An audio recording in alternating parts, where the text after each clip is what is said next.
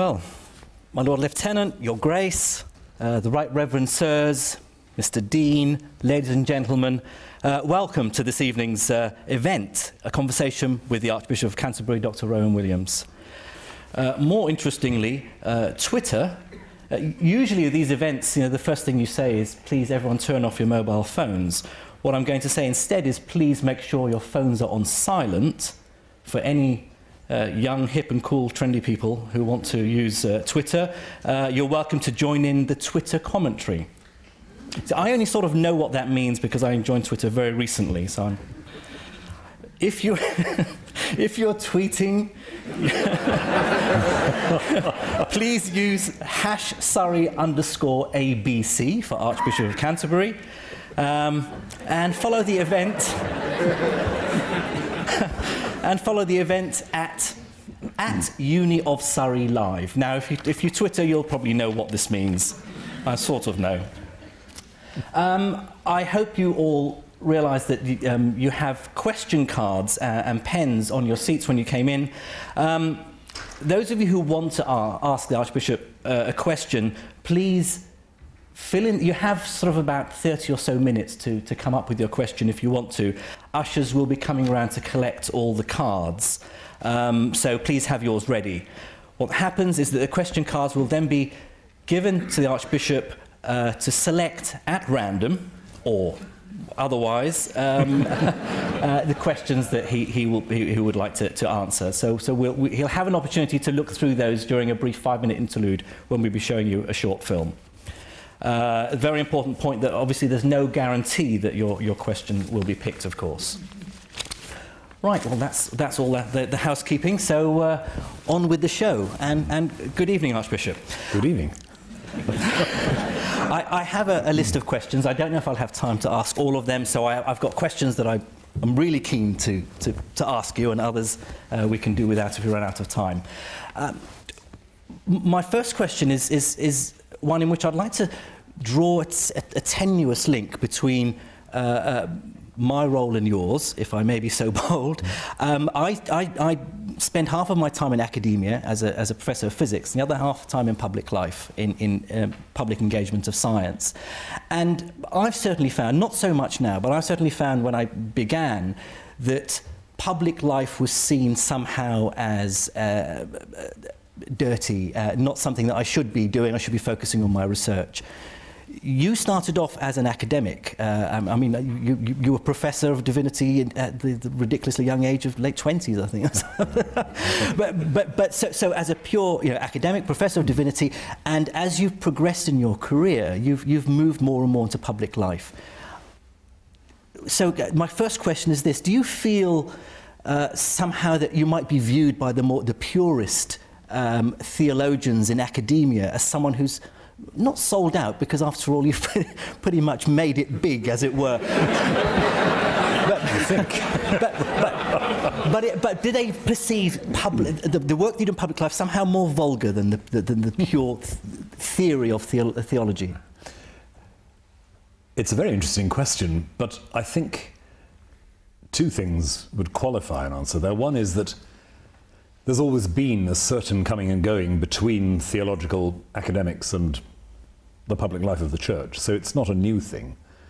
And the other is, if you like, the other way around, that when I was an academic, I was also a working priest. So it's not been hermetically sealed compartments.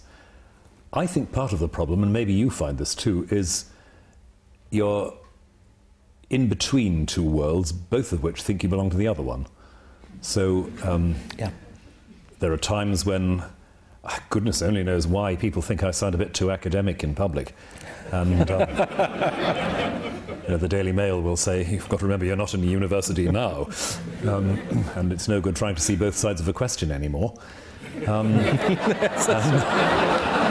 and at, at, the same time, on, on the other side, there is, there is just a touch of that. Well, we know you're, you're not a real scholar any longer. You have to say these absurdly simplistic things in public. So there is a bit of discomfort both ways around, I, mm. I reckon.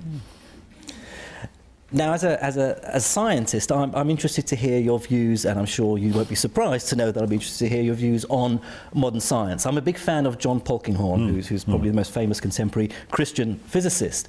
Um, I, I, for instance, I'm well aware that you have no issues with Darwin's theory of natural selection.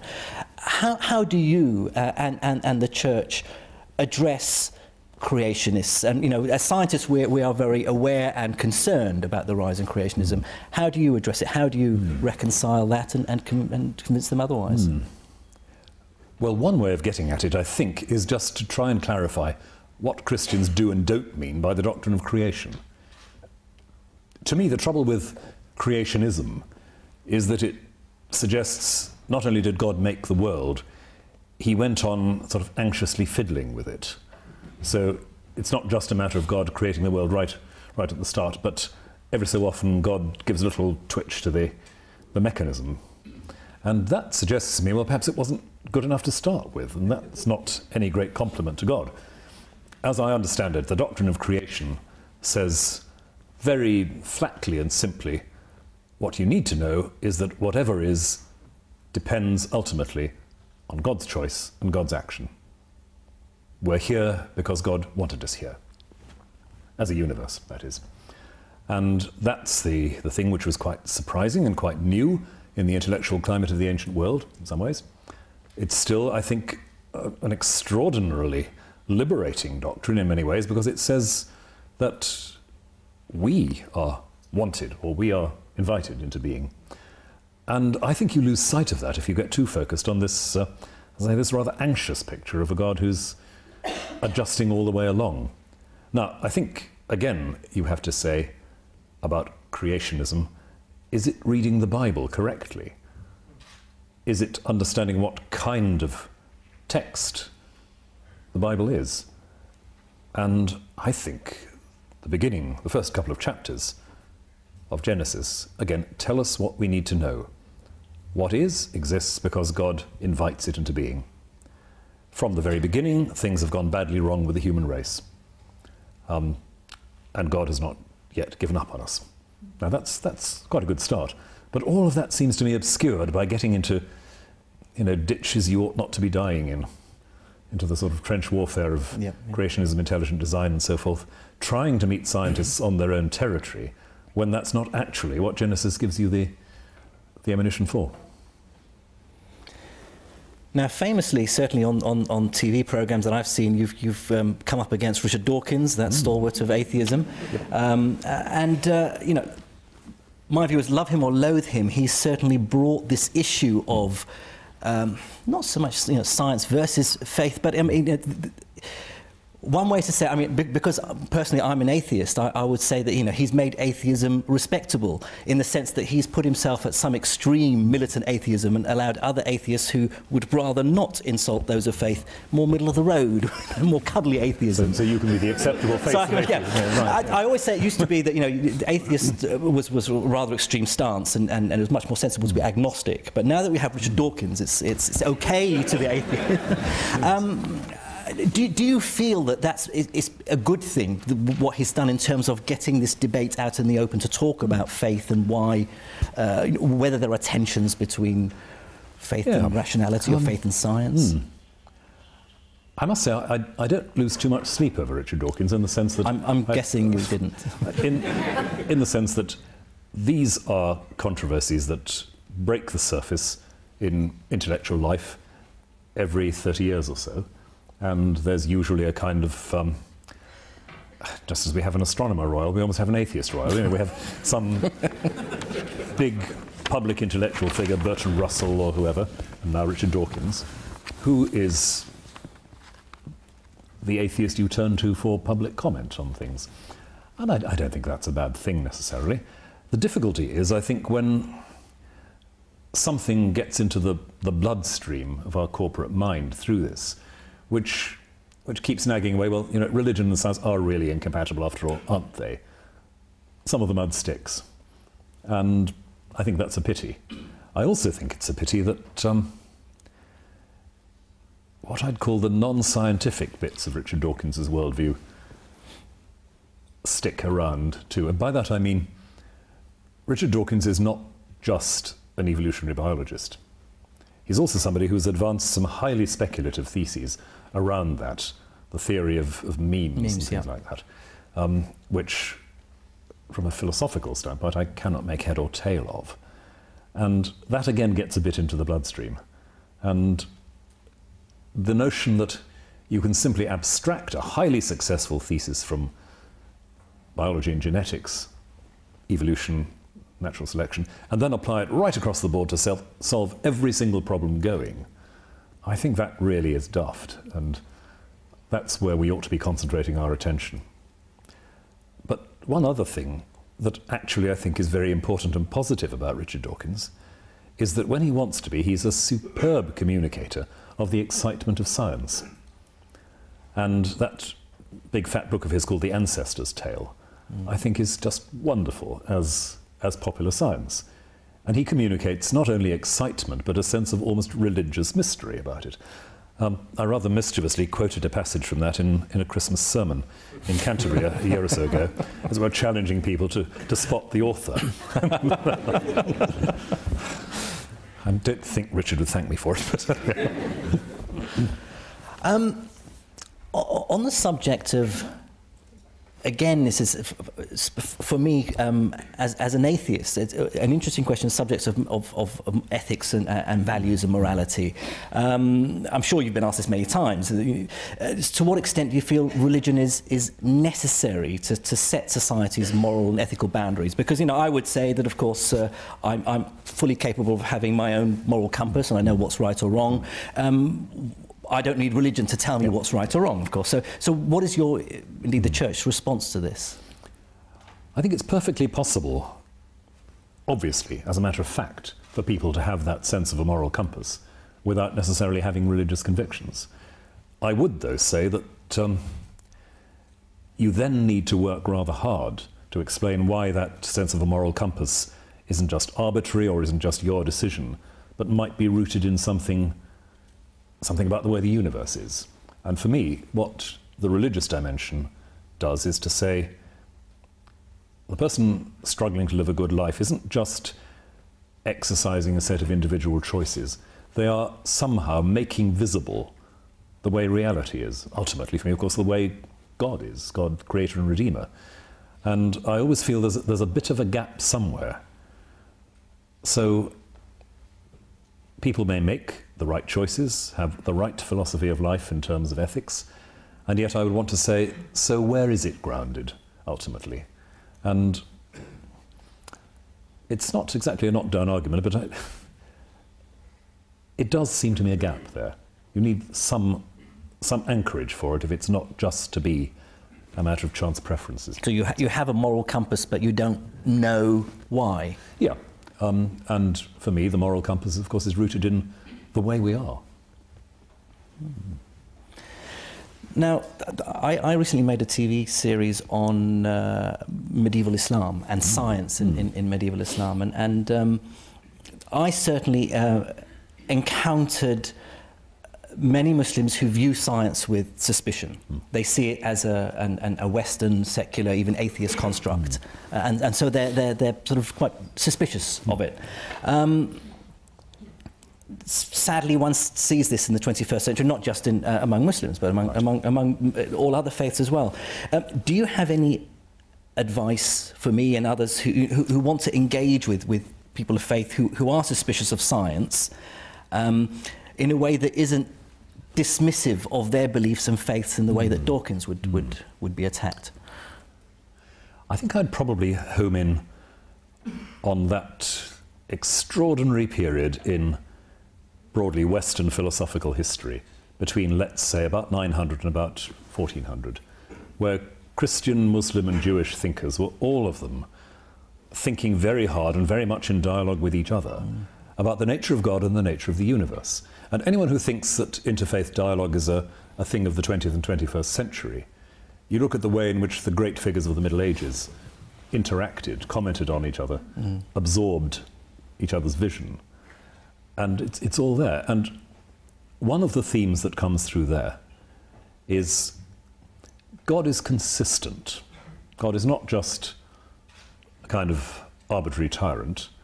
God is consistent, God is reasonable in the broadest possible sense. And therefore, the world God has made is a world in which you can expect consistency, rationality, some kind of coherence. And that belief for Christians, Muslims, and Jews in the Middle Ages was actually one of the things that made science possible. In the Muslim world, rather ahead of the others, in fact. Christians caught up a bit, though some of the Muslim roots actually go back further to what they had read of Syrian translations by Christians of Greek texts. And mm. so you've got, a, again, a great intermingling. So actually, the tradition of religious philosophy is bound in with, with the scientific enterprise, far more than many people realize. And I'd want to say to any religious person who felt there was a kind of natural incompatibility there, well, look at the history. Look at what, look at what your faith made possible. Mm. Because it was your faith that made it possible. I'm always interested when, when I read about how uh, medieval Muslim theologians were driven to, to read about Aristotelian philosophy because they had to hone their arguments against the Christian and Jewish theologians who'd had a head start on them. yes, yes, absolutely.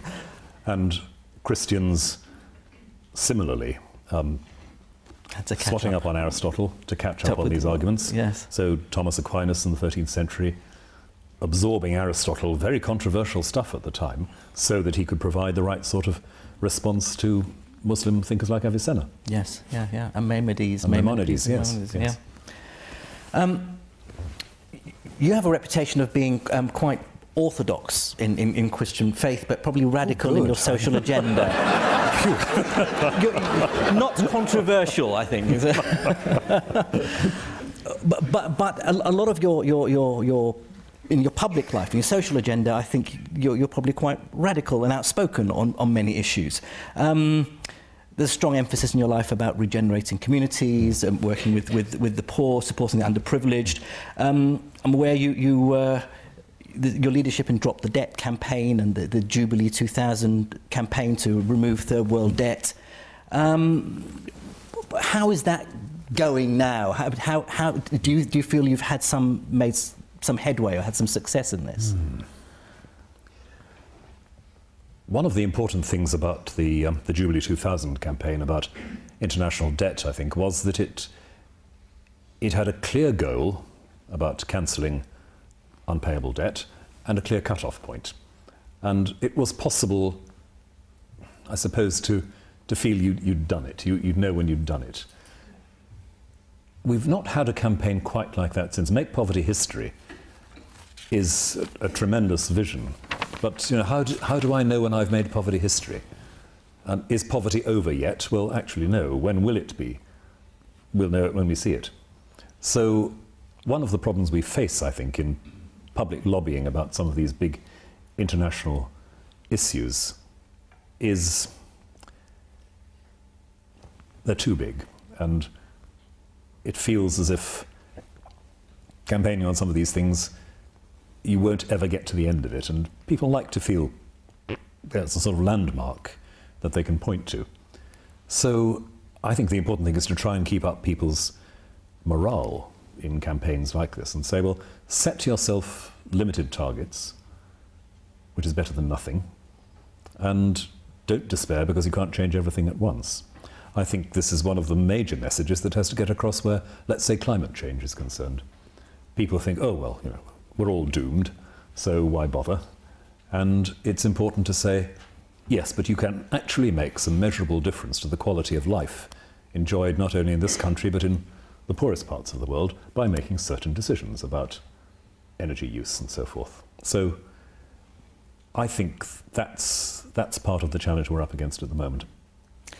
You feel it's important that you engage in these political issues, I guess. And you spoke at the Copenhagen I did, summit yes, as yes. well. Um, I know you've uh, you quoted.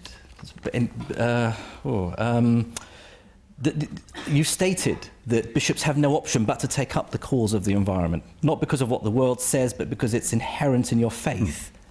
Mm. Um, as a scientist, it's very important for me to, to get across to the general public how science works. And so, for instance, on the issue of climate change, it's very worrying for me that, that, that, the small band of climate change deniers are leaping on issues like the East Anglia email debacle and, yes, and, and yes. The, uh, the, IPCC exaggerations about the Himalayan ice melting. Um, how do you respond to climate change deniers? With, with puzzlement, really. Um, I can see that people will want to hold us to the fact that we're dealing in probabilities, not cast iron certainties. That's, that's fine, that's fair enough. But it seems to me that on almost any analysis, we as the human inhabitants of this planet have been responsible for altering the circumstances in which we live. I don't see how you can deny that. You can argue about the measure of it, you can argue about the proportion between um, human generated and natural causes outside our control. But even if, even if you were to allow a very large measure of skepticism there, you might still, I, I would still want to say, we have environmental degradation, which impacts horribly on the most vulnerable, and we ought to do something about it. So don't get too bogged down in in the science. I say it with respect. but there clearly is an issue about which something can be done. And so, to the denier, I'd say, well, if you insist on denying it, okay, but can you not recognize that there is an agenda? Wherever it comes from, there's mm. an agenda here. Uh, I think I'll keep going for another 10 minutes or so before we uh, open up questions. I'd like to come back to, to, to the issue of faith and, mm. and, and uh, actually the, the, idea of prayer, which I find mm. quite difficult to, to, to fathom. Um, and it's, it's, it's such a, a well-trodden argument, I know, but in, in a world of inhumanity, you know, suffering and natural disaster, how do you continue to pray? I mean, is, is, is your Christian uh, faith a comfort or a struggle? How do you cope with, say, Haiti? Haiti. Mm. The person who prays about Haiti isn't, I think, first and foremost saying to God, You sort it out because I can't, but somehow trying to open their own life to enough of God's love for a difference to be made becoming a channel in, in some way for a healing purpose or a restoring purpose. That can work itself out in practical ways, actually doing something about it, giving, getting involved. If that's not possible, then the Christian makes the very bold assumption, as I think do people of other faiths, just opening your mind and heart to that somehow brings into the world something of God's action and God's freedom that can, in principle, make a difference. So I think in these horrible circumstances, it's not, it's not a matter of how on earth can anybody pray in the middle of that. People do. People just do. They want to connect the horror of the situation with the love of God somehow. They want to be a place where those two frames of reference overlap the dreadfulness, the urgency of suffering and the unchanging fact of God. There are no, I've said it many times now, there are no theories that'll get you through that.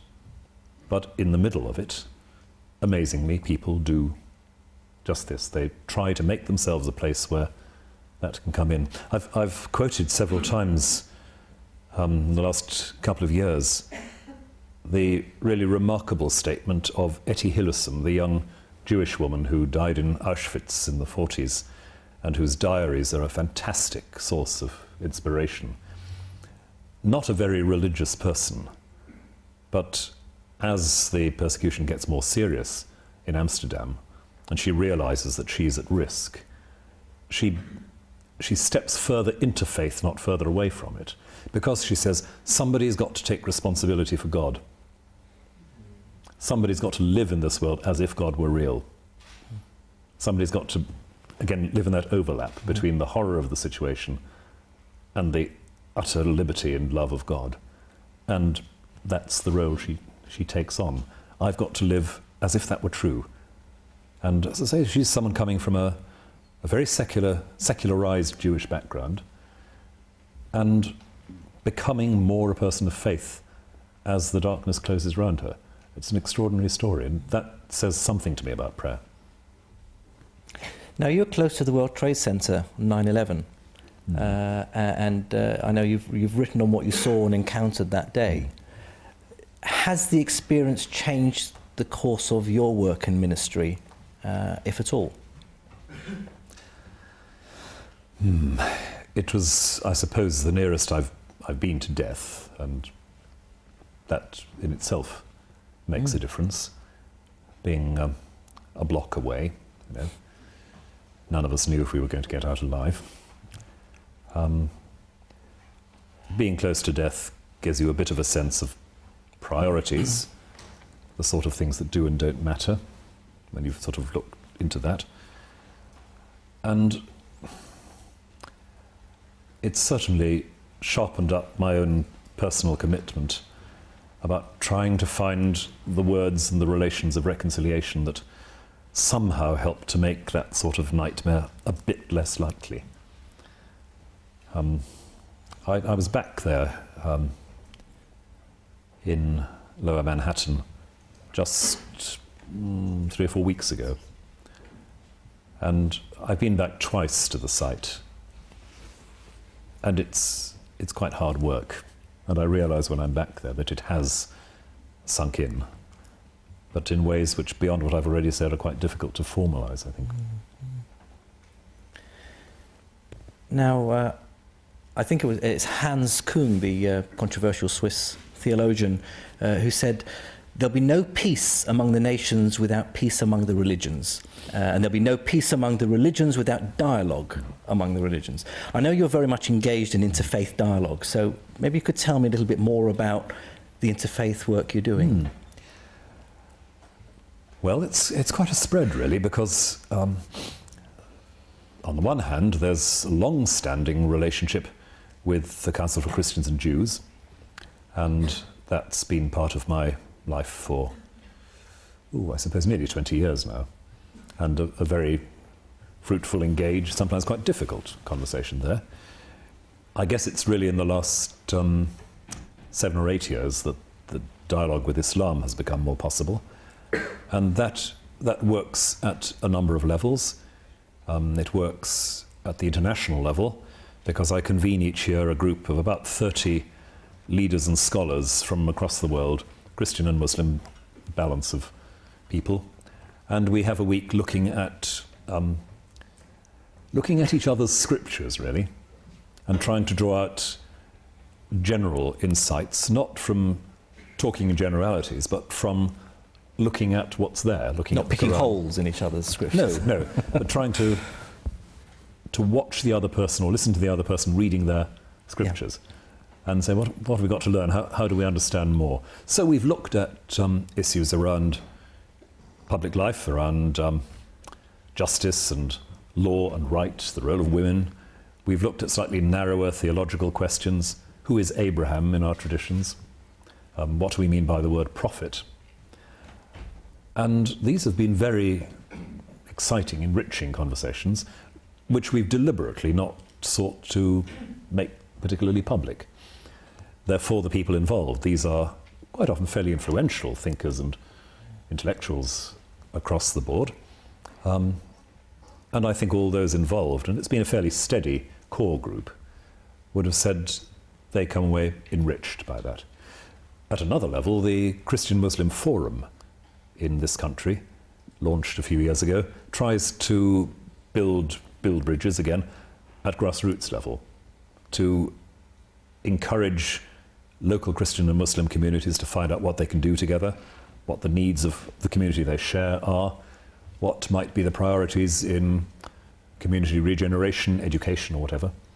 And that, that too is an exciting project. So there's all of that. And then sometimes you try and put bits of the jigsaw together and have the three cornered conversations with the Abrahamic faiths.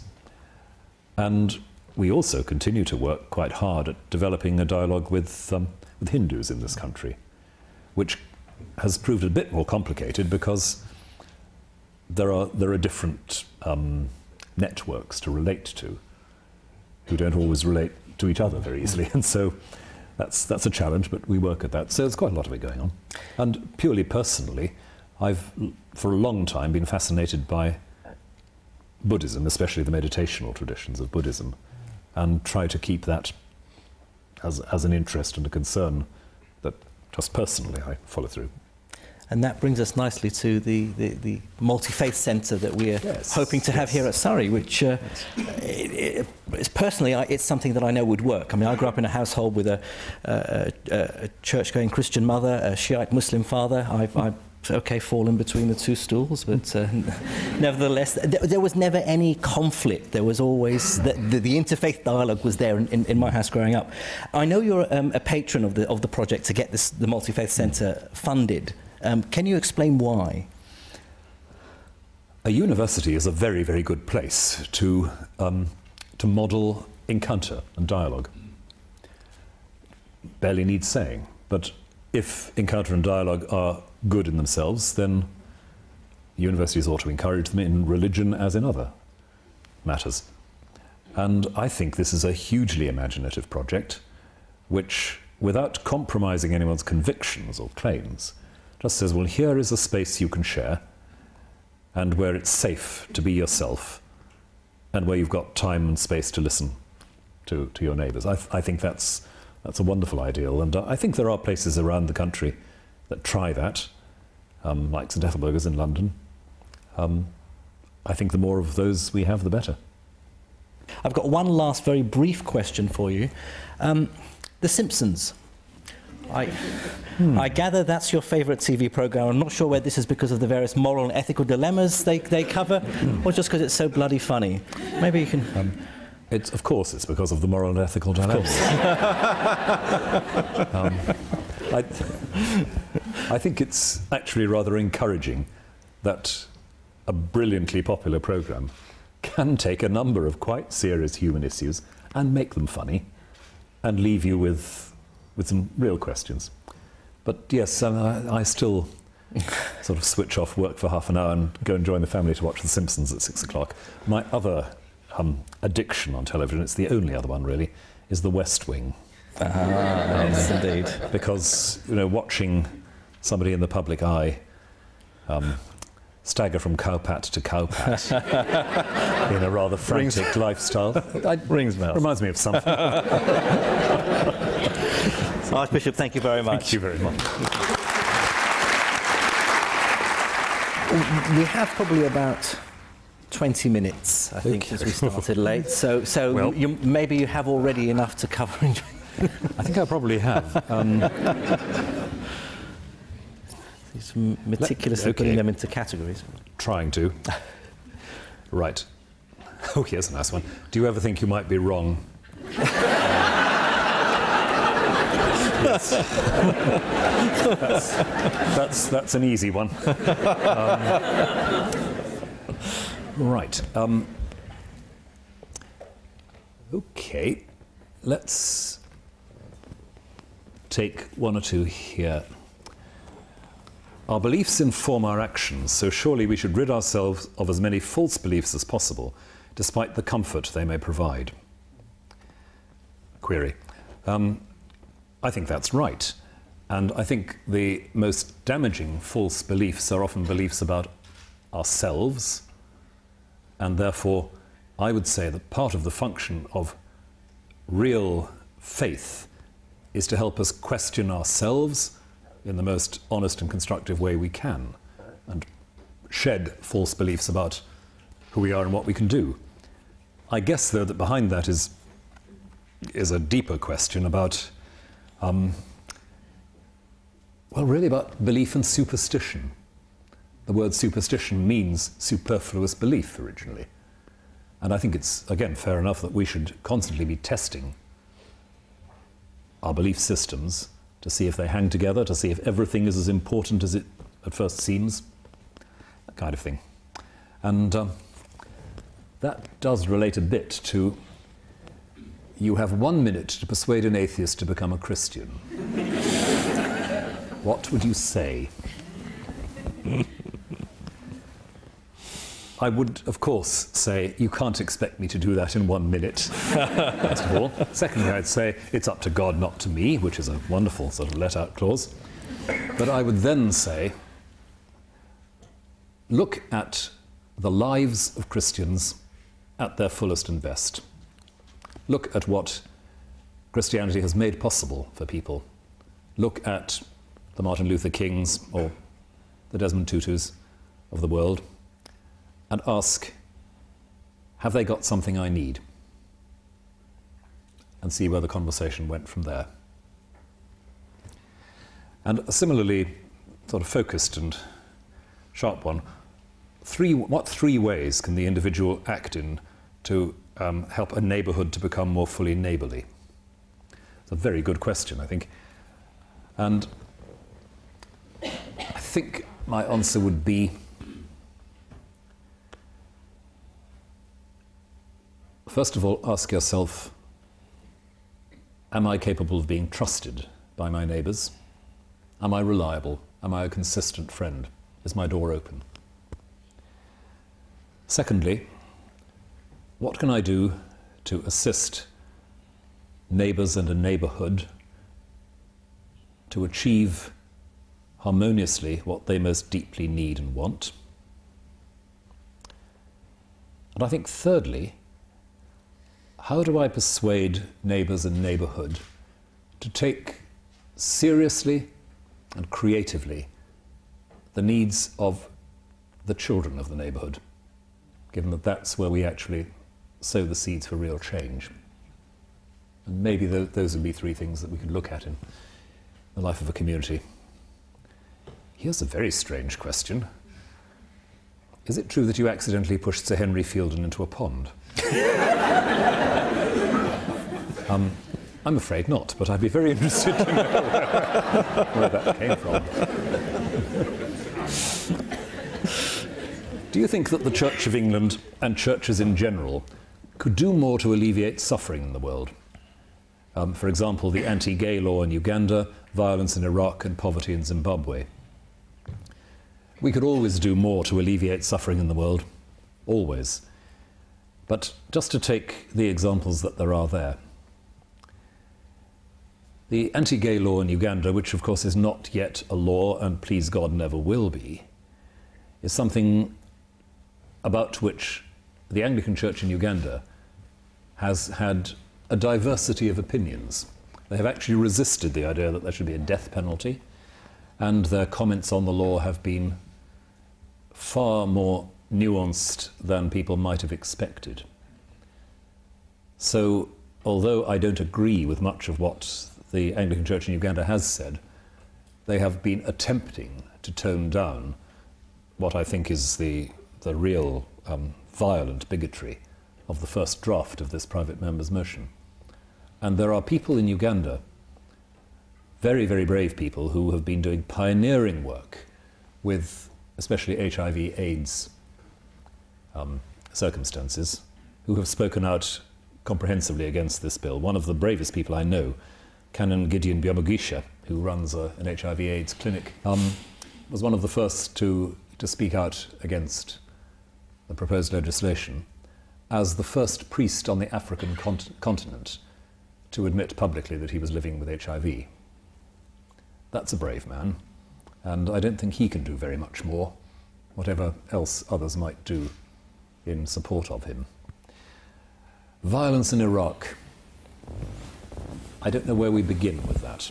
There are people who seek to tone down the appalling violence there, the communal violence. There are Christians in the middle of that who, at the moment, as we speak, are suffering atrociously. Christians who have been butchered in cold blood by extremists in the last couple of weeks. What we can do from here is limited. We can keep up the pressure for peacemaking generally as best we can. Poverty in Zimbabwe, the Archbishop of York and I last year, almost exactly a year ago, launched an Archbishop's appeal for Zimbabwe when circumstances there were looking very bleak. And the appeal in the last 12 months has raised the best part of half a million. That's money that goes to community projects throughout Zimbabwe, education and healthcare, and also training in basic sustainable agricultural methods. So we do, we do have some, some partnerships there which make a bit of difference. And I say that not in any spirit of self defense or um, self congratulation, as if we were doing plenty, but just to say what is, as a matter of bare fact, being done, in the hope that that inspires people to go on seeking to do more. A bit about theology. To what extent is God an actor in the world rather than obser- an observer? Which is, a, again, a very interesting question. There are lots of very interesting questions here. Um, God is never just an observer because I believe, as, as a Christian, that the world exists because God is always acting. I like to say sometimes creation is not something that happened a long time ago, it is something that is happening now in the sense that we are here because the act of God is still, if you like, bubbling away beneath the surface, upholding us moment by moment. Which not, is not the same thing as the same as fiddling around. Tweaking, yeah. But yeah. just this, you know, the supply of energy pouring through, as you might say. That's what holds us in being. So always an actor, never an observer. God doesn't make the world and then sit back and, and look at it from a distance and say, oh, there we are. Pretty good if you ask me, and go and do something else. But I think the question is also about how far we may expect God to be actively making a difference in the world. Now, as I understand it, God's energy, God's life, which is, as I say, bubbling under the surface, can, on occasion, so seep into the actions of men and women that possibilities you would never have imagined come to be real. And that's part of what we've meant by miracle, not God reaching down and twiddling, sort of separating the fabric of creation and inserting a direct act. Much more, the world coming to a point where something is allowed to, to come through of what is always going on beneath or come into focus. In that sense, yes, I, I certainly believe God acts, but acts through the freedom, the activity of what He's made, not parting the heavens and interrupting the fabric of things, but working through. And that still allows you to say, I believe, that extraordinary things happen and extraordinary possibilities become realities. What would be the benefits of disestablishing the Church of England now? um, actually, not very many, I think. Um, surprise, surprise. I've, I've never been a huge advocate of establishment in its own right. I grew up in a disestablished church in Wales. I worked as a bishop for nearly 11 years in a disestablished church in Wales and didn't think that disestablishment was the end of the world. But people who talk about disestablishment these days are very often people who have an agenda of trying to keep religious discourse out of the public sphere. And I'm, you know, I'm quite prepared to be bloody minded about that and say, well, if that's your reason for disestablishment, I'm not interested because I think we need to be in there arguing. And so I'll resist it if that's where it's coming from. And I think what, what would result would not be a kind of calm, rational, neutral public discourse in this country. It would be a carefully fenced off area of public life with a lot of rather frustrated religious voices around the edges, grumbling, muttering, and trying to get back in. Whereas at the moment, paradoxically, the establishment of the church does help to remind society as a whole that it's okay for religious voices to be part of public discussion. Not to dominate, not to decide everything, but to be a respected part of that argument about the social good.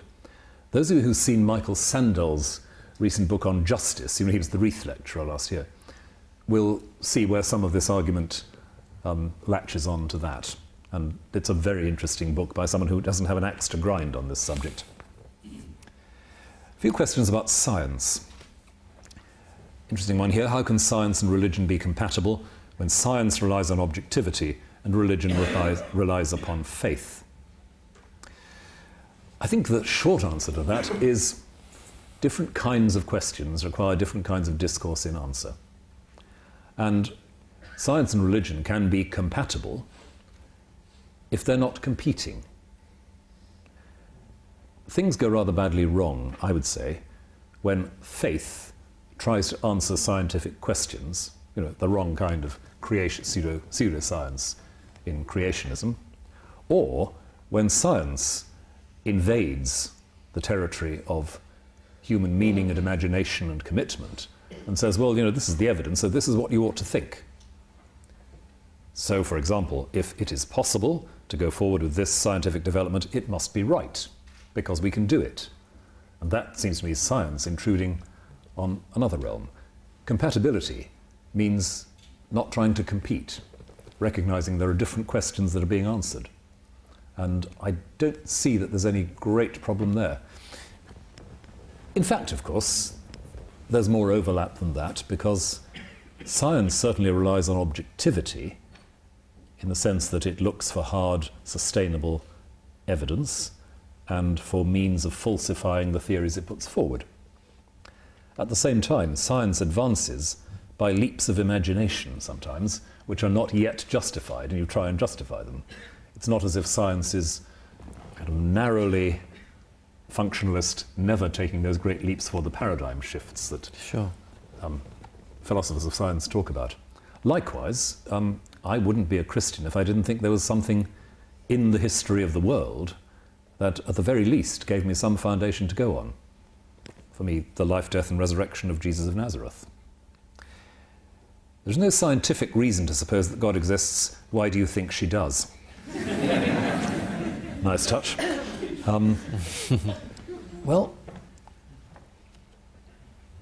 for how many things in your life do you need a scientific reason? The reasons we advance for preferring Mozart to Bach, preferring Yvonne to Janet, preferring broccoli to peas, those are not entirely trivial examples, but the reasons we advance will not be exactly what you mean by scientific reasons, but they're reasons. There is a reasoning process that we can sometimes say, well, this is where my experience leads me. This is what brings things together, what makes sense. I prefer Bach to Mozart, let's say, because somehow I feel I'm introduced into a larger world in the one than I am in the other and so on. There is reasoning that goes on, but it's not exactly what you'd think of as scientific reasoning. And this is partly my gripe about Richard Dawkins again the assumption that there's one kind of reasoning, one kind of knowing, hard knowledge, not soft, you know, that you've got scientific knowledge and the rest is just kind of fuzzy, opinionated waffle. And I just don't think that's what the human world is like. I don't think that's what the human mind is like. So, um, not too fussed about there being no scientific reason to suppose that God exists. There may be any number of human reasons arising out of how we read the world around us and our own experience. Is science able to explain the underlying principles of religions, and if so, should it? Are there questions we may be able to answer but shouldn't address from a religious point of view? I think it's very dangerous to think that religion tells you there are questions you must never ask or seek to answer. That's, that's a mistake in a way that bits of religion have made all too often in the past, isn't it? By saying, well, you, you can't ask that, you can't talk like that here. And I think the religious believer has to, well, to put his or her money where their mouth is and say if, if faith is what it, what it claims to be, then I will look, I will look in the face of the scientific enterprise and say, okay, go ahead, do your worst. I stake my position here. If you can shake that, well, I'll be very interested to see it, but not to be afraid of that. I don't, as a matter of fact, think, see previous remarks, that science will explain it away because that in itself presupposes the model of one kind of science, one kind of knowing, one kind of reasoning. But I don't think there's anything to be afraid of. I think we need to have the confidence of our faith to say, go ahead, ask the questions you want to ask.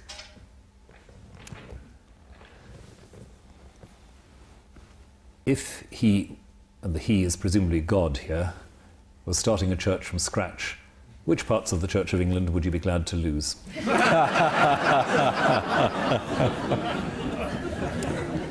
um. this is where you start losing friends. Starting a church from scratch, it's, it's actually an exercise that I, I like to do sometimes with parishes. To say, you're, you're starting a church. Forget what's going on on Sunday mornings. Forget the, the habits you're in. Just look at the New Testament. Think about the essence of your faith and commitment. What would you really need to get it going? And that can at least help you start asking the, the sharp, the, the razor edged questions. And very often, of course, people will say, we don't necessarily need the buildings we've got. We don't necessarily need the whole culture of worship that we've got. And they say that not to claim we've got to get rid of all those, they're unimportant, they have no use, just to set a bit of an order of priorities. So I think the question ought to make us focus on what's actually different about the church. What's different about the church? What is it that makes it not just another human organization, just another club? To focus on what it is in our life and our language that reminds us that we exist because of God's choice and invitation, as I said earlier, to remind us that whatever horrendous mess we make of our lives through sin and failure. God is faithful in giving us new beginnings. What focuses us on those things? So I'd, I think perhaps I'm saying I'm coming at it positively rather than negatively, not trying to trim off with sort of plastic surgery what, what isn't necessary, but looking first at what's, what's really central. Do you have time for one last question, Oh, dear, dear. brief? I think we've pretty much Um, run out, almost run out of time. I'm sorry. I'm No, no, Waffling on. Um, what have I given up for Lent and why? Um, alcohol and coffee. Um, which political party will you vote for at the general election? Um, I'm tempted to say Plaid Cymru. But, but actually, as a member of the House of Lords, I don't vote. and then